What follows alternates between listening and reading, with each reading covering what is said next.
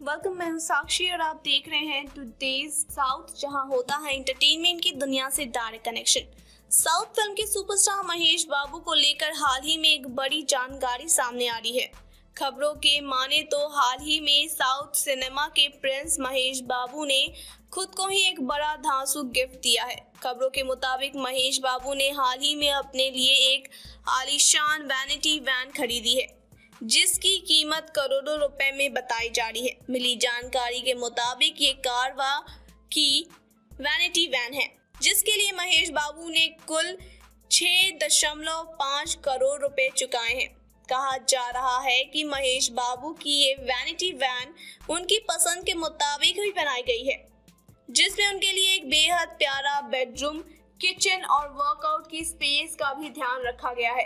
ये चार पहियों पर सवार एक ऐसा घर है जो महेश बाबू के साथ साथ वहाँ तक चलेगा, जहाँ एक्टर शूटिंग के लिए जाएँगे।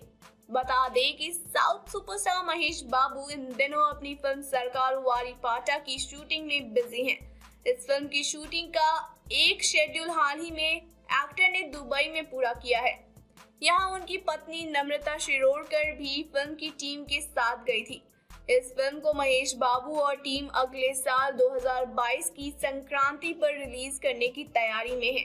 फ़िल्म का निर्देशक गीता गोविंदम, फ़िल्म निर्देशक परशुराम कर रहे हैं। Thank you so much keep watching more entertainment news and update